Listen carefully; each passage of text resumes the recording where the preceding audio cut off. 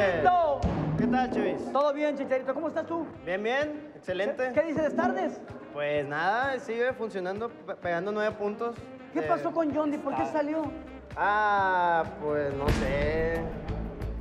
Él siempre. La verdad, que era muy sangrón. Yo siento que él siempre quiso y extrañó a Cábatelo. Siempre nos, nos, nos quiso dar volteón, o sea, se fue de la nada. Pues es que eso es normal, los tratamos muy Te bien. quiso dar un volteón. No, pero de programa. Ah.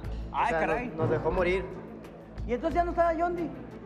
Se fue porque quiso, siempre buscó la opción de irse y. Es que Yondi ya se va a dedicar a cantar. ¿Ah, sí? Sí. ¿Y va a tomar clases o.? No, está...